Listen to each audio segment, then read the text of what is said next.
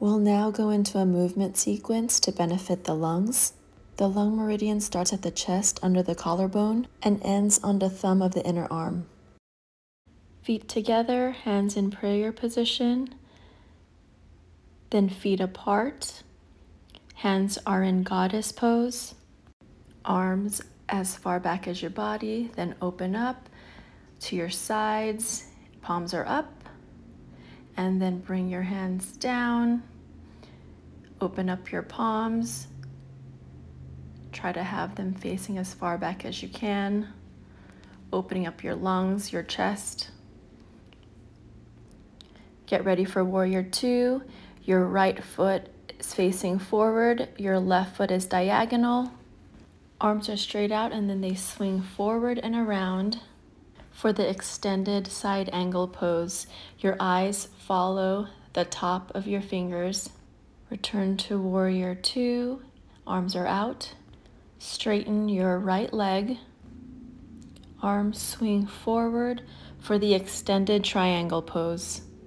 Your arms are perpendicular to the ground.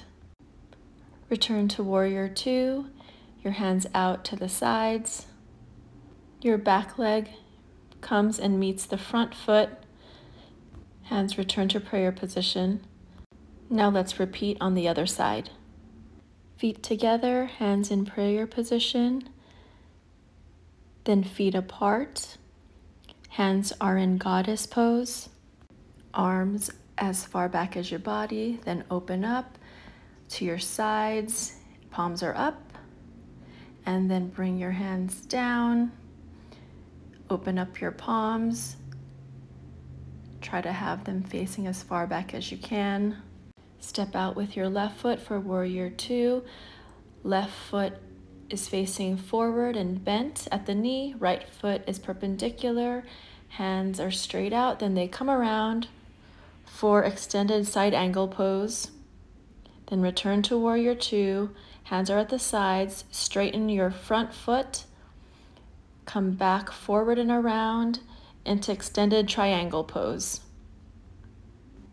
Left hand is either at the calf or on the floor. Return to warrior two. Then the back foot comes forward to meet the front foot. Then you're in prayer position. Your feet are back together.